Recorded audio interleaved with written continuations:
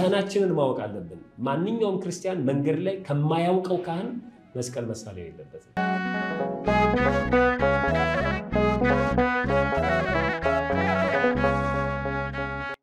ጣታቸውን እንደዚህ ያደርጋሉ፣ ሁለት ጣታቸውን ከዛ እንዲህ ያደርጉና ደረታቸው ላይ ብለው ይስማሉ። ይሄ በነገራችን ላይ ክህደት ነው። ይህንን የወሰዱት ደግሞ የእኛ ወጣቶች በአብዛኛው ከእግር ኳስ ተጫዋቾች ነው።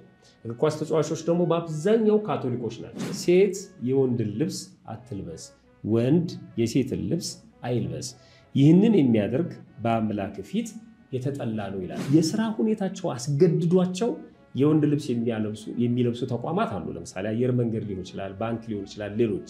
ይሄን እየተናገርኩ ያለሁት በቤተ መቅደስ ውስጥ ሕጋዊ ያለ ሆኖ ለባልና ለሚስት አስቀድሰው ቅዱስ ስጋውን ክቡር ደሙን ተቀብለው መምጣት ከፈለጉ ወደ ቤተክርስቲያን ከመሄዳቸው በፊት ማለት ነው። ስጋው ደግሞ ከመቀበላቸው በፊት ሶስት ቀን ከተራክቦ በአፋ መሆን አለባቸው፣ መከልከል አለባቸው። ስጋዊ ፍትወታቸውን ወይም ተራክቦ በሕግ የተፈቀደውን እንኳን መፈጸም የለባቸውም ማለት ነው። ወንዶች ወደ ቤተ መቅደስ ከመግባታቸው በፊት የሚያደርጉት ጥንቃቄ አንዱ ህልመ ሌሊት ነው። ዝኔት ወይም ህልመ ሌሊት ዝኔት በመታቸው ጊዜ ማለት ነው በዕለቱ ወደ ቤተ መቅደስ እንዲገቡ አይፈቀድላቸውም። ወደ ቤተክርስቲያን እንዲገቡ አይፈቀድላቸውም። ገላቸውን ታጥበው በማግስቱ እንዲገቡ የቤተክርስቲያን ስርዓት ያዛል። የልሃጭ መዝረብረብ፣ የሆድ መታወክ፣ ብስና እንዲህ አይነት ህመሞች ሲኖሩ ወደ ቤተክርስቲያን መግባት እንደማይገባ ቀበሌም ሲገቡ ኳስ ሜዳም ሲገኙ ፊልም ቤትም መንደራቸው ውስጥም ቤተክርስቲያንም አንድ አይነት ነው። አረማመዳቸው፣ አነጋገራቸው፣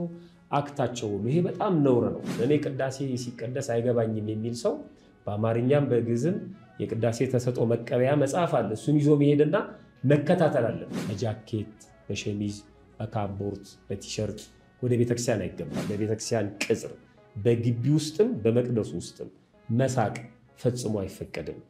ዓለማዊ ነገር መነጋገር ፈጽሞ አይፈቀድም። ስራ ፈት ሆኖ ዝም ብሎ መቀመጥ ፈጽሞ አይፈቀድም።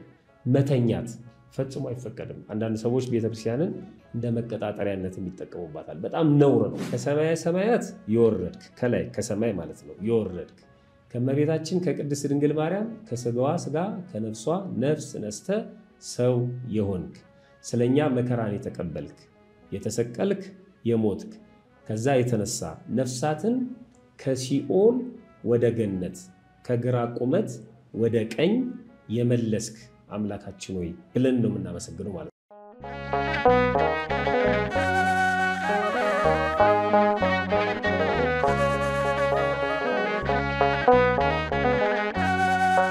በስመ አብ ወወልድ ወመንፈስ ቅዱስ አሐዱ አምላክ አሜን። ሰላም ጤና ይስጥልን። የተወደዳችሁ የክርስቶስ ቤተሰቦች የእናታችን የእመቤታችን የቅድስት ድንግል ማርያም የመስቀል ስራ ልጆች፣ የጻድቃን የሰማዕታት የቅዱሳን ሁሉ ወዳጆች በወደደን እስከ ድረስ ባፈቀረን በጌታችን በአምላካችን በእናታችን በኢየሱስ ክርስቶስ ፍጹም ሰላም እንደምን አላችሁ? ሰላም እግዚአብሔር ከሁላችንም ጋር ይሁን። እንኳን ከዘመነ ቅዱስ ሉቃስ ወደ ዘመነ ቅዱስ ዮሐንስ 2016 ዓ ም በሰላም እና በጤና አሻገረን አሻገራችሁ። እንኳን ለብርሃነ መስቀሉም በሰላም አደረሳችሁ ለማለት እወዳለሁ። የተወደዳችሁ ቤተሰቦቻችን እንግዲህ ቀንዲል ሚዲያ በ2016 የተለያዩ መርሃ ግብሮችን ወደ እናንተ ይዞላችሁ ቀርቧል። ከ2015 ተያይዘው የመጡት የኔ እንግዳ እንዲሁም በጉብዝና ወራት መርሃ ግብሮችን ይዞ ወደ እናንተ ሲደርስ ቆይቷል። በ2016 ዓ ምትም እነዚህን መርሃ ግብሮች በልዩ ጥራትና በልዩ አቀራረብ ወደ እናንተ ማድረሱን ይቀጥላል። በዚህ በ2016 ዓ ም ደግሞ ሁላችንም ልንማርበትና ጥሩ እውቀት ልናገኝበት የምንችለውን አዲስ መርሃ ግብር ወደ እናንተ ይዞ መጥቷል። ይህም ልማድና ክርስትና የሚል ኢትዮጵያ ኦርቶዶክስ ተዋሕዶ ቤተክርስቲያን በልማድ የምናደርጋቸው በጎና መጥፎ ልማዶች የምንላቸውን ለይተን የምናውቅበት አንዳንድ ጊዜ ከክርስትናችን ጋር የሚቃረኑ ልማዶችን ደግሞ ትክክለኛ ሕግና ዶግማ ቀኖና አድርገን ይዘን የምንጓዝባቸውን ለይተን የምናውቅባቸው ስርዓተ ቤተክርስቲያንን የምንረዳበት ልዩ መርሃ ግብራችን ነው። መርሃ ግብሩን ደግሞ ወደኛ የሚያደርሱልን ተወዳጁ መምህራችን መጋቤ ሃይማኖት መምህር ምትኩ አበራ ናቸው። ከእሳቸው ጋር በተከታታይ መርሃ ግብሩን አብረናቸው እንቆያለን። ስለዚህ ሁላችሁም መርሃ ግብሮቻችንን እየተከታተላችሁ አስተያየት፣ ሀሳብ ያላችሁንም እየጻፋችሁልን እንዲሰሩ የምትፈልጉትንም ነገሮች እየጻፋችሁልን አብራችሁ እንድትዘልቁ በፍቅር እንጠይቃለን። ሰላም እግዚአብሔር ከሁላችንም ጋር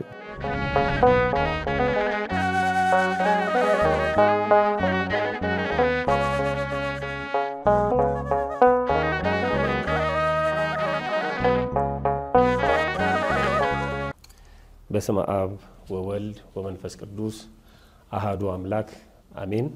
በአብ ስም አምነን አብን ወላዲ ብለን፣ በወልድ ስም አምነን ወልድን ተወላዲ ብለን፣ በመንፈስ ቅዱስ ስም አምነን መንፈስ ቅዱስን ሰራጺ ብለን ምንም እንኳን ላጠይቁ አካላት በስም በአካል በግብር ሶስት ብንል በመለኮት በአገዛዝ በባህሪ በመፍጠር ይህንን በመሳሰሉት ሁሉ አንድ አምላክ ብለን በማመን ረድኤተ እግዚአብሔርን አጋዥ በማድረግ በሁለት ወገን ድንግል የምትሆን የእናታችን የእመቤታችን የቅድስተ ቅዱሳን የድንግል ማርያምን አማላጅነት በመተማመን እንግዲህ በዚህ ዓመት አዲስ መርሃ ግብር ጀምረናል። ልማድና ክርስትና የሚል ነው። በዚህ ዩቲዩብ ብቻ ነው። እንደ እግዚአብሔር መልካም ፈቃድ ከዛሬ ጀምሮ ይህንን መርሃ ግብር ወደ እናንተ እናደርሳለን ማለት ነው። ልማድና ክርስትና ሰፊ ጊዜ ተወስዶ የሚታይ ትልቅ ቁም ነገር ነው። ልማድ ማለት ምን ማለት ነው? ክርስትና ማለት ምን ማለት ነው? የሚል ሀተታ አለው። ግን እሱን ትተን ልማድ ስንል በጎም ክፉም አለ። ልማድ በተደጋጋሚ የሚከወን ሆኖ ሰዎች ሳያውቁት ሳያስተውሉት እና ሳይማሩት በልምድና በዘፈቀደ የሚከውኑት ድርጊት ነው። በጥቅሉ ልማድ ማለት ነው። ልማድ በቀላሉ አይተውም፣ በጣም ከባድ ነው። ለዚህ ነው መጽሐፈ መነኮሳት ላይ ከሰይጣን ይልቅ ልማድን ፍራ የሚለው። እንደው የተወሰነ ነገሮችን ላስታውሳችሁ። በጣም ለምዶብን ወደ ቤተክርስቲያን ስንገባና ከቤተክርስቲያን ስንወጣ እናማትባለን። ግን ለምዶብን ስለምናደርገው ስለምናከናውነው አንዳንድ ጊዜ ወደ ትምህርት ቤት ስንገባም ከትምህርት ቤት ስንወጣም ለማማተብ የሚቃጣን ሰዎች አለን። ያማተብንም ሰዎች እንኖራለን፣ እርግጠኛ ነኝ። ትልልቅ ግቢዎች ውስጥ ገብተን ከዛ ግቢ ስንወጣ እጃችን ስለለመደ ዞረን አማትበን ተሳልመን የምንሄድበት ሁሉ ነገር አለ እና ክርስትና ደግሞ በልማድ የሚኖሩት ሳይሆን በትምህርት የሚረዱት በተግባር የሚኖሩት ሕይወት ነው። ስለዚህ በዚህ ዝግጅት እንደ እግዚአብሔር መልካም ፈቃድ በልማድ የሚከወኑ ነገሮችን በትምህርት ማገዝና ዝም ብለው በልምድ ብቻ የሚከወኑ ክፉ ነገሮችን በትምህርት ማስወገድ ይሆናል ማለት ነው። እንግዲህ የእናንተም ጸሎት እንዲረዳን ተማጽናችንን እናቀርባለን። በቀጥታ ወደ መርሃ ግብሩ እንሄዳለን።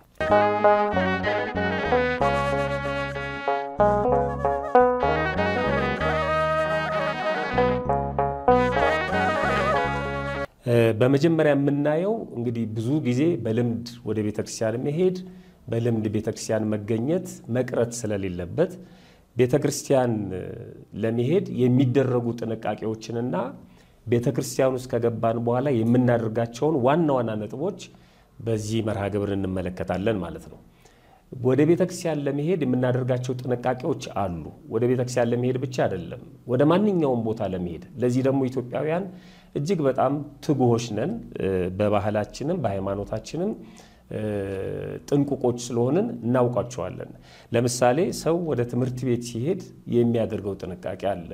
የሚማርበትን መሳሪያ ከመያዝ ጀምሮ የሚለብሱት ዩኒፎርም አለ። ተማሪዎች መምህራን እንደ መምህርነታቸው መምህራንና ተማሪዎቹን የሚረዱ የቢሮ ስራ የሚከውኑ ሰራተኞችም እንደ ሰራተኝነታቸው ትምህርት ቤት ሲገኙ የሚያደርጉት ዝግጅት የአለባበስ ዝግጅት ሊሆን ይችላል፣ የስነ ልቦና ዝግጅት ሊሆን ይችላል ያደርጋሉ። እሱም ብቻ አይደለም፣ ለቅሶ ቤትም ለመሄድ ራሱን የቻለ ዝግጅት ያስፈልገዋል። በአለባበስም የለቅሶ ቤት አለባበስ የተለየ ነው። እናቶቻችን ወደ ገበያ ወይ ሰው ለመጠየቅ ደርሰው ሲመጡ ድንገት እንኳን ለቅሶ ቤት መግባት ካለባቸው እግረ መንገዳቸውን ነጠላቸውን ባለባበስ ያስተካክሉታል። ነጠላቸውን ያዘቀዝቁታል። ለገበያ የለበሱትን ነጠላ ሰው ለመጠየቅ የለበሱትን ነጠላ ለለቅሶ ቤት እንደሚሆን አድርገውት ይገባሉ። ለለቅሶ ቤቱ ካላቸው ክብር የተነሳ ማለት ነው። ስለዚህ የለቅሶ ቤትም አለባበስ ራሱን የቻለ ነው። በሰርግ ቤትም ስንገኝ የሰርግ ቤት አለባበስ አለ። ሰርግ ቤት ሁለት አይነት ሰዎች ይገኛሉ። የተጠሩ ያልተጠሩም ሰዎች ይገኛሉ። በጣም የሚገርመው ግን የአለባበስ ጥንቃቄ የሚያደርጉት የተጠሩት ብቻ ሳይሆኑ ያልተጠሩትም ናቸው። አሁን በተለምዶ ድንጓን ሰባሪ የምንላቸው ሰዎች አለባበሳቸውን አስተካክለው ነው እዛ ቦታ ላይ የሚገኙት። መጽሐፍ ቅዱስ ላይ በምስጢር የተለየ ትርጉም ቢኖረውም ጌታችን መድኃኒታችን ኢየሱስ ክርስቶስ ስለ መንግሥተ ሰማያት ሲያስተምር መንግሥተ ሰማያት ለልጁ ሰርግን ያደረገ ንጉሥን ትመስላለች ካለ በኋላ በሰርግ ቤት ውስጥ ስለተገኙ ሰዎች ስላለባበሳቸው በተናገረበት አንቀጽ ላይ ለምሳሌ ሰርግ ቤት ድግስ ካዘጋጀ በኋላ እድምተኞቹ እንዲጠሩ ሰራተኞቹን ላከ። እድምተኞቹ ግን በየፊናቸው ምክንያት እያመካኙ በሰርግ ቤቱ መገኘት አልቻሉም። ስለዚህ ባለሟሎቹን ምን? ወደ መንገድ መተላለፊያ ሂዱና ድግሱ ስለተዘጋጀ ያገኛችሁትን ወደዚህ ወደ ሰርግ ቤት እንዲመጣ ጥሩ አላቸው። እና እንደዚህ ይላል የማቴዎስ ወንጌል ምዕራፍ 22 ቁጥር 10 ላይ እነዚያ ባሮች ወደ መንገድ ወጥተው ያገኙትን ሁሉ ክፉዎቹንም በጎዎቹንም ሰበሰቡ፣ የሰርጉንም ቤት ተቀማጮች ሞሉት ይላል። ንጉሱም የተቀመጡትን ለማየት በገባ ጊዜ በዚያ የሰርግ ልብስ ያለበሰ አንድ ሰው አየ ይላል። ልብ አድርጉ። የሰርግ ልብስ ያለበሰ ሰው ተመለከተ። ወዳጅ ሆይ የሰርግ ልብስ ያለበስከው ለምንድን ነው? የሰርግ ልብስ ሳትለብስስ እንዴት ወደዚህ ገባ ብሎ ጠየቀው ይላል። እሱም ዝም አለ ይላል። ምክንያቱም መልስ ስለሌለው ነው። የለኝም እንዳይል ለብሶ ተገኝቷል። ያለውን ልብሱን ከውሃ አገናኝቶ አጥቦ አሰማምሮ መምጣት ይችላል። ስለዚህ ዝም አለ ይላል እና በዚያን ጊዜ ንጉሱ አገልጋዮቹን እጁንና እግሩን አስራችሁ በውጭ ወዳለው ጨለማ አውጡት፣ በዚያ ልቅሶና ጥርስ ማፏጨት ይሆናል አለ። የሰርግ ቤት ልብስ ያለበሰ ሰው በሰርግ ቤቱ የተገኘ ግን ሲወጣ እናያለን። ስለዚህ በተለያዩ ቦታዎች የመስሪያ ቤት ልብስ አለ፣ ገበያ ስፍራ ስንገኝ የምንለብሰው ልብስ አለ፣ ቤት ውስጥ የምንለብሰው ልብስ አለ፣ ጥሪ ላይ የምንለብሰው ልብስ አለ። ወደ ኳስ ሜዳ ሲሄዱ እንኳን የኳስ ሜዳ ደጋፊዎች ወይም እግር ኳስ ጨዋታ የሚያዩ ሰዎች ባለባበሳቸው ማንነታቸውን ይገልጣሉ። የሚጫወተውን ቡድን ያውቃሉ፣ የሚደግፉትን ያውቃሉ፣ የሚቀመጡበትን ቦታ ያውቃሉ። በዛም ስሜታቸውን የሚገልጡበትን ማለባበስ ይለብሳሉ። እነዚህ ስጋውያን ናቸው። ወደ መንፈሳዊ ቦታ ስንሄድ፣ ወደ ቤተክርስቲያን ስንሄድ ለነፍሳችን ደግሞ ከዚህ የበለጠ ጥንቃቄ ማድረግ አለብን ማለት ነው እና እሱን ነው እንደ እግዚአብሔር መልካም ፈቃድ የምንመለከተው። በመጀመሪያ ደረጃ ወደ ቤተክርስቲያን ስንሄድ የምናደርጋቸውን ጥንቃቄዎች ከማስቀመጤ በፊት ቤተክርስቲያን የምንሄድባቸውን ጊዜያቶች እንደው በወፍ በረር እንቃኛቸው። መቼ መቼ ነው ወደ ቤተክርስቲያን የምንሄደው? ጊዜያቶቹ ምንድን ናቸው? ወደ ቤተክርስቲያን የምንሄድባቸው ጊዜያቶች፣ ወቅቶች ምንድን ናቸው? በእርግጥ ወደ እግዚአብሔር ቤት በሁሉም ጊዜ፣ በሁሉም ሰዓት፣ በሁሉም ደቂቃ መሄድ ያሻል። ግን አሁን ጥንቃቄዎቹን አብረን ስለምናይ፣ አለባበሶቹንም አብረን ስለምናይ ጊዜያቶቹንም ማየት አግባብ ነውና ጊዜያቶቹን ማየት ያስፈልጋል። የመጀመሪያው ወደ ቤተክርስቲያን የምንሄደው ለማስቀደስና እግዚአብሔር ሲፈቅድልን ቅዱስ ሥጋውን ክቡር ደሙን ለመቀበል እንሄዳለን። ሁለተኛ ዓመታዊ ክብረ በዓላትን ለማክበር እንሄዳለን። ሶስተኛ ለግል ጸሎት እንሄዳለን። ይሄ እንግዲህ በመጀመሪያው ውስጥ ማለት ነው። ለግል ጸሎት እንሄዳለን። ክብረ በዓል ለማክበር ለማንገስ እንሄዳለን። ለማስቀደስና ቅዱስ ሥጋውን ክቡር ደሙን ለመቀበል እንሄዳለን። ሁለተኛ ወደ ቤተክርስቲያን የምንሄደው ለመሳለም ነው። እጅ ለመንሳት ማለት ነው። መሳለምን በሁለት ልናየው እንችላለን። አንደኛው ግቢ ውስጥ ሳንገባ በሩ ላይ ቆመን አማ ወይም ሰላምታ ሰጥተን የምንመለስበት አጋጣሚ አለ። ሁለተኛ ደግሞ ወደ ውስጥ ገብተን የምንሳለምበት ደግሞ እስከ መቅደሱ ድረስ ገብተን የምንሳለምበት ጸሎት የምናደርግበት ሁኔታ አለ። ስለዚህ ለመሳለም እንሄዳለን። በኋላ በዝርዝር እናየዋለን። ሶስተኛው ወደ ቤተክርስቲያን ለመንፈሳዊ አገልግሎት ወይም ጉባኤ ለመማር፣ ለመዘመር፣ ለምህላ ወደ ቤተክርስቲያን እንሄዳለን። አራተኛ ለአገልግሎት እንሄዳለን። በሰንበት ትምህርት ቤት ሆነን የምናገለግለው አገልግሎት አለ። በሰበካ ጉባኤ ሆነን የምናገለግለው አገልግሎት አለ። በማህበራት በጽዋ ማህበርም ለአገልግሎት እንሄዳለን። እግረ መንገዳችንን ለአገልግሎት ስንሄድ እጅ እንነሳለን፣ እንሳለማለን፣ እንጸልያለን። ግን የምንሄድበት ጉዳይ አገልግሎት ሊሆን ይችላል። አራተኛው ይሄ ነው። አምስተኛው ወደ ቤተክርስቲያን የምንሄድበት ምክንያት ለቀብር እንሄዳለን። ሰዎችን ግብአተ መሬት ለመፈጸም ለቀብር እንሄዳለን። አንዳንድ ሰዎች በጣም የሚገርመው ለቀብር ከሄዱ ለቀብር ብቻ ቤተክርስቲያን ተገኝተው በዛ አጋጣሚ በተገኙበት አጋጣሚ ቤተክርስቲያንን እጅ የማይነሱ ከእግዚአብሔር ጋር በጸሎት የማይገናኙ ሰዎች አሉ። ለቀብር ይሄዳሉ፣ ቀብረው ይመለሳሉ። በቤተ ክርስቲያን ውስጥም የቢያጥ ቋጡን ሲያወሩ ተራ ነገር ሲነጋገሩ ጊዜያቸውን አሳልፈው የሚመጡ ሰዎች አሉ። ግን ለቀብር ሄደንም ተሳልመን የምንመጣበት አጋጣሚ አለ። እነዚህ ናቸው ወደ ቤተ ክርስቲያን የምንሄድባቸው ጊዜያቶች። እንግዲህ እናንተ ሌሎች ካሉ ጨምራችሁ አብሮ መታየት ይችላል ማለት ነው። ወደ ሁለተኛው ክፍል ስንሄድ ወደ ቤተ ክርስቲያን ለመሄድ የሚደረጉ ጥንቃቄዎች፣ ዋናው ነጥባችን እሱ ነው። በእነዚህ ጊዜያቶች ወደ ቤተ ክርስቲያን ስንሄድ የምናደርጋቸው ጥንቃቄዎች ይኖራሉ። እነዚህን ከፋፍለን እናያቸው። ለምሳሌ ሕጋዊ ያልሆኑ ለባልና ለሚስት አስቀድሰው ቅዱስ ሥጋውን ክቡር ደሙን ተቀብለው መምጣት ከፈለጉ ወደ ቤተክርስቲያን ከመሄዳቸው በፊት ማለት ነው ስጋው ደግሞ ከመቀበላቸው በፊት ሶስት ቀን ከተራክቦ በአፋ መሆን አለባቸው፣ መከልከል አለባቸው። ስጋዊ ፍትወታቸውን ወይም ተራክቦ በሕግ የተፈቀደውን እንኳን መፈጸም የለባቸውም ማለት ነው። ሶስት ቀን ከተራክቦ ይጠበቃሉ፣ አብረው አይተኙም። ስጋው ደግሞ ከተቀበሉ በኋላ ደግሞ ለስጋው ደግሞ ክብር ሁለት ቀን በተራክቦ አይገናኙም። አብረው ይተኛሉ፣ ግን ተራክቦ አይፈጽሙ ወይም ግንኙነት አይፈጽሙም ማለት ነው። ለዚህ በቤተክርስቲያናችን ምሳሌ ተደርጎ የሚጠቀሰው የመጀመሪያው የሶስት ቀኑ እግዚአብሔር ለሙሴ በደብረ ሲና ሊገለጽለት ባሳሰበው ጊዜ የሚያደርጉትን ህዝቡም እሱም የሚያደርገውን ጥንቃቄ ተናግሯል።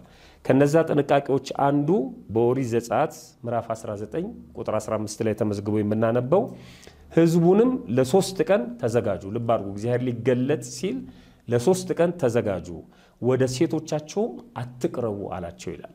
ስለዚህ የክርስቶስን ቅዱስ ስጋ ክቡር ደም ለመቀበል ሶስት ቀን ከስጋዊ ፍትወት ወይም ተራክቦ ባልና ሚስቶች እንዲጠበቁ የቤተክርስቲያን ስርዓት ያዛል ማለት ነው። ሁለተኛው የሉቃስ ወንጌል ምዕራፍ 1 ቁጥር 24 ላይ የምናገኘው ነው። ወእምድኅረ ክልኤ መዋዕል ጸንሰት ኤልሳቤጥ ብእሲቱ ይላል። የካህኑ የዘካርያስ ሚስት ኤልሳቤጥ ከሁለት ቀን በኋላ ጸነሰች ይላል። ዘካርያስ ካህኑ ከኤልሳቤጥ ጋር ተራክቦ ወይም ግንኙነት የፈጸመው ተራውን ከፈጸመ ከሁለት ቀን በኋላ የቤተ መቅደስ አገልግሎቱን ከፈጸመ ከሁለት ቀን በኋላ ነው። እሱ ስለ ክብረ ዕጣን ነው ሁለት ቀን የተጠበቀው። እኛ ደግሞ ስለ ቅዱስ ስጋውና ስለ ክቡር ደሙ በአዲስ ኪዳን የሚፈተተው የሚቆረሰው የክርስቶስ ቅዱስ ስጋና ክቡር ደም ስለሆነ ሁለት ቀን ከስጋው ደሙ ከተቀበሉ በኋላና በኋላ ባልና ሚስቶች ከተራክበው መጠበቅ ይጠበቅባቸዋል ማለት ነው። ሁለተኛው ሴቶች ናቸው። በልማዳ አንስት ጊዜ ሴቶች ወደ ቤተ ክርስቲያን ለመግባት ለምሳሌ በወራዊ ልማድ ማለት ነው ሰባት ቀን መጠበቅ አለባቸው። ደሙ ፈጽሞ ከሰውነታቸው መንጠቡን እስኪያቆም ድረስ ሰባት ቀን እንዲጠብቁ የቤተ ክርስቲያን ስርዓት ያዛል። ከዛ ታጥበው መግባት ይችላሉ። ወንዶች ማነው ሴቶች ደግሞ ወንድ ልጅ ሲወልዱ እና ሴት ልጅ ሲወልዱ እንደዚሁ በቤተ ክርስቲያን ስርዓት መሰረት ወንድ ለወለደች ሴት ልጅ አርባ ቀን ሴት ለወለደች ደግሞ ሴት ልጅ ሰማንያ ቀን ወደ ቤተ ክርስቲያን እንዳይገቡ ጥንቃቄ እንዲያደርጉ መጽሐፍ ቅዱስ ያዛል። ይህንን በማስረጃ ለማቅረብ ኦሪት ዘሌዋውያን ምዕራፍ 12 ከቁጥር አንድ ጀምሮ እስከ ሰባት ያለውን ስንመለከት እንደዚህ ይላል። እግዚአብሔርም ሙሴን እንዲህ ብሎ ተናገረው፣ ለእስራኤል ልጆች እንዲህ ብለህ ንገራቸው፣ ሴት ብታረግዝ ወንድ ልጅም ብትወልድ ሰባት ቀን ያህል የረከሰች ናት። ማለት አሁን በአዲስ ኪዳን የረከሰች የሚለው የተለየች ናት የሚለውን ትርጓሜ ያመጣል። የተለየች ናት፣ ሰባት ቀን ያህል የረከሰች ናት። እንደ ሕመሟ መርገም ወራትም ትረክሳለች። በስምንተኛውም ቀን ልጁ ከስጋው ሸለፈት ይገረዝ፣ ወንድ ልጅ ለምትወልድ ማለት ነው። ከደሟ እስከምትነጻ ሰላሳ ቀን ትቀመጥ። የመንጻቷ ቀንም እስኪፈጸም ድረስ የተቀደሰ ነገርን አትንካ ወደ ቤተ መቅደስም አትግባ ይላል። ስለዚህ አርባ ቀን ወንድ ልጅ ለምትወልድ ሴት ወደ ቤተ መቅደስ እንዳትገባ እንድትጠብቅ መጽሐፍ ቅዱስ ያዛል ማለት ነው። ሴት ልጅን ብትወልድ ግን እንደ መርገሟ ወራት ሁለት ሳምንት ያህል የረከሰች ናት። ሁለት ሳምንት ማለት 14 ቀን ማለት ነው። ከዛ ከደሟም እስከምትነጻ ድረስ 66 ቀን ትቀመጥ ይላል። 66 እና 14 80 ቀን ይመጣል ማለት ነው። ይሄ ሴት ልጅን ለምትወልድ ነው። የመንጻቷ ወራትን በተፈጸመ ጊዜ ለወንድ ልጅ ወይም ለሴት ልጅ የአንድ ዓመት ጠቦት ለሚቃጠል መስዋዕት የርግብ ግልገል ወይም ዋኖስ ለኃጢአት መስዋዕት ወደ መገናኛው ድንኳን ደጃፍ ወደ ካህኑ ታምጣ። እሱም በእግዚአብሔር ፊት ያቀርበዋል፣ ያስተሰርይላትማል ከደሟም ፈሳሽ ትነጻለች። ወንድ ወይም ሴት ለምትወልድ ሴት ሕጉ ይህ ነው ይላል። ስለዚህ ይሄ በኦሪቱ ሴቶች ሲፈጽሙት የነበረውን በሐዲስ ኪዳንም መስዋዕቱ ቢቀየርም አገልግሎቱ የሐዲስ ኪዳን አገልግሎት ቢሆንም ግን የተቀደሰ ስፍራ ስለሆነ ለክብረ ስጋው ደግሞ ይህንን ስርዓት መፈጸም እንደሚገባቸው የቤተ ክርስቲያን ስርዓት ያዛል ማለት ነው። ወንዶች ወደ ቤተ መቅደስ ከመግባታቸው በፊት የሚያደርጉት ጥንቃቄ አንዱ ህልመ ሌሊት ነው። ዝኔት ወይም ህልመ ሌሊት ዝኔት በመታቸው ጊዜ ማለት ነው። በዕለቱ ወደ ቤተ መቅደስ እንዲገቡ አይፈቀድላቸውም። ወደ ቤተ ክርስቲያን እንዲገቡ አይፈቀድላቸውም። ገላቸውን ታጥበው በማግስቱ እንዲገቡ የቤተ ክርስቲያን ስርዓት ያዛል። ለዚህ መነሻው ኦሪት ዘሌዋውያን ምዕራፍ 15 እና ከቁጥር 2 እስከ 18 የተጻፈው ነው። እሱን ማንበብ ይቻላል። ሌላው ይሄ ቅጽበታዊ የሆኑ ህመሞች የሰከንድ የደቂቃ ማለት ነው። ቅጽበታዊ የሆኑ ህመሞች አሉ። ለምሳሌ የልሃጭ መዝረብረብ፣ የሆድ መታወክ፣ ብስና እንዲህ አይነት ህመሞች ሲኖሩ ወደ ቤተክርስቲያን መግባት እንደማይገባ የቤተክርስቲያን ስርዓት ያዛል ማለት ነው። እነዚህ ናቸው። በተረፈ ወደ ቤተክርስቲያን ከገባን በኋላ የምናደርጋቸውን ነገሮች ተራ በተራ ለመመልከት እንሞክራለን። አሁን ከመግባታችን በፊት የምናደርጋቸውን ጥንቃቄዎች አየን። ከገባን በኋላ የምናደርጋቸው ነገሮች ምንድን ናቸው? አንዳንድ ሰዎች በልምድ ነው ወደ ቤተክርስቲያን የሚገቡት። በልምድ ይቀመጣሉ፣ በልምድ ይወጣሉ። በልምድ በቤተክርስቲያን ውስጥ ሲራወጡ እናያቸዋለን። ቤተ እግዚአብሔር ቤተ ክርስቲያን የእግዚአብሔር ምድራዊ ዙፋኑ እግዚአብሔር በጸጋ የሚገለጥባት ቦታ ናት። የተቀደሰች ስፍራ ናት። ስለዚህ በፈሪሃ እግዚአብሔር ነው መግባት ያለብን እና ከመግባታችን በፊት የምናደርገውን ነገር መወሰን ይገባል። ስለዚህ ለምሳሌ የመጀመሪያው ወደ ቤተክርስቲያን ከገባን በኋላ የምናደርገው መሳለም ነው። ሰዎች ወደ ቤተክርስቲያን ለምን ይሄዳሉ? ሊሳለሙ ማለት ነው። እጅ ሊነሱ፣ ጸሎት ሊጸልዩ፣ ሰላም ሊሉ፣ ሰላምታ ሊያቀርቡ ይሄዳሉ። መሳለም በሁለት ይከፈላል። ከሩቅ ሆኖ መሳለምና በቅርበት መሳለም ማለት ነው። ለምሳሌ ቤተክርስቲያን በርቀት በምትታይበት ቦታ ቤተክርስቲያንን ባዩበት ልክ ባዩበት ቦታ ላይ ሆነው ይሳለማሉ። ለምሳሌ በገጠሪቷ የሀገራችን ክፍል ማለት ነው። እዚህም አዲስ አበባ ከተማ ውስጥም አለ እርግጠኛ ነኝ። መሳለሚያ የሚባል ቦታ ሰምታችሁ ታውቃላችሁ? እነዚህ መሳለሚያ የሚባሉ ቦታዎች ስም የወጣላቸው ቤተክርስቲያኑ በርቀት የሚታይበት ቦታ ላይ መስቀል ይተከልና ሰዎች ወደዛ ውስጥ ሄደው መሳለም ሲያቅታቸው በተግባረ ስጋቸው ምክንያት ጊዜ ከሌላቸው ማለት ነው በቤተክርስቲያኑ ትይዩ ሆነው እጅ ይነሳሉ። ያ ስፍራ መሳለሚያ ተብሎ ይጠራል። ወደ መርካቶ አካባቢ ለመርካቶ አማኑኤል ቤተክርስቲያን ትይዩ ቦታ ላይ መሳለሚያ የሚባል ቦታ አለ። ወደ ካዛንቺስ ግቢ ገብርኤል ቤተ መንግስቱ አካባቢ መሳለሚያ እየተባለ ይጠራል። ለቅዱስ ገብርኤል እና ለበዓታ ቤተ ክርስቲያን ትይዩ ስለሆነ ሰው ከዛ ሆኖ ይሳለማል። በገጠር ደግሞ ከዋናው መንገድ ወጣ ያለ ከሆነ ቤተ ክርስቲያኑ ዋናው መንገድ ላይ መስቀል ይተከላል። ወደ ገበያ የሚሄዱ ሰዎች፣ ወደ ተለያየ ስፍራ የሚሄዱ ሰዎች እዛች ጋር ቆም ብለው ቤተ ክርስቲያን እጅ ይነሳሉ፣ ይሳለማሉ ማለት ነው። ስለዚህ ለመሳለም እንሄዳለን። ለመሳለም ስንገኝ ቤተ ክርስቲያን አንዱ በር ላይ ነው። ድንገት ከመኪና ወርደን ሊሆን ይችላል፣ መንገድ አቋርጠን ስንሄድ ሊሆን ይችላል። ቤተ ክርስቲያኑ በር ላይ ሆነን እንቆማለን። ከቆምን በኋላ መሳለም ላይ ትክክለኛው ስናማትብ ጣታችንን በትምህርተ መስቀል ምልክት ማድረግ አለብን። ሶስቱ ጣታችን ይታጠፋል። የታጠፉት ሶስቱ ጣታችን ላይ ይሄኛው ጣታችን ይጋደማል። መስቀል ነው የሚሰራው። እንደዚህ ስናደርገው መስቀል ነው። ከዚያ ይህንን መስቀል ወስደን ግንባራችን ላይ ነው የምናስቀምጠው ስንሳለም ማለት ነው። እና ግንባራችን ላይ ስናስቀምጠው እኩል የእግዚአብሔርን ስም እንጠራለን። በስመ አብ እንላለን። እኩል ጣታችንን ካመሳቀለን በኋላ በስመ አብ እንላለን። ወወልድ ስንል ወደ ደረታችን እናወርደዋለን። በስመ አብ ወወልድ። ከዛ ቀጥሎ ወመንፈስ ቅዱስ አሃዱ አምላክ አሜን እንላለን። ወመንፈስ ቅዱስ ስንል ወደ ግራ እጃችን እንወስደዋለን። ከዛ አሃዱ አምላክ ስንል ወደ ቀኝ እናመጣዋለን። አሜን ስንል ደረታችን ላይ እንጨርሰዋለን። ይሄ ማለት እግዚአብሔርን ከሰማየ ሰማያት የወረድክ ከላይ ከሰማይ ማለት ነው የወረድክ ከመቤታችን ከቅድስት ድንግል ማርያም ከስጋዋ ስጋ ከነፍሷ ነፍስ ነስተ ሰው የሆንክ ስለኛ መከራን የተቀበልክ የተሰቀልክ የሞትክ ከዛ የተነሳ ነፍሳትን ከሲኦል ወደ ገነት ከግራ ቁመት ወደ ቀኝ የመለስክ አምላካችን ሆይ ብለን ነው የምናመሰግነው ማለት ነው። ስለዚህ ምስጢሩ በጣም ከባድ ነው። ስለዚህ ስናማትብ በስመ አብ ወወልድ ወመንፈስ ቅዱስ አሃዱ አምላክ አሜን እንላለን ማለት ነው። አንዳንድ ሰዎች እንደነገርኳችሁ በልምድ ነው የሚያማትቡት እና ሲያማትቡ አንዳንዶቹ ጣታቸውን አንድ ጣታቸውን ብቻ ነው የሚያወጡት። ከዛ እንዲህ ይላሉ፣ እንደዚህ እንደዚህ ይላሉ ማለት ነው። ስለዚህ ይሄ መስቀል አይደለም እና እያሉትም አይደለም በትክክል። አንዳንዶቹ ደግሞ በብዛት ወጣቶችን ነው ማየው፣ ጣታቸውን እንደዚህ ያደርጋሉ፣ ሁለት ጣታቸውን ከዛ እንዲህ ያደርጉና ደረታቸው ላይ ብለው ይስማሉ። ይሄ በነገራችን ላይ ክህደት ነው።